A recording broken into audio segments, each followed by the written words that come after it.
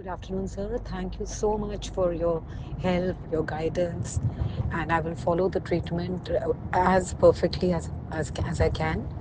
And I, it was a really lovely experience to be there, very homely environment. Everyone was so friendly and warm.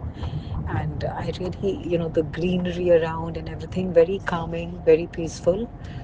And uh, thank you so much, sir. I feel so blessed to have met you and to have met your entire team and uh, I'll stay in touch with you and let you know my progress. Thank you so much, sir.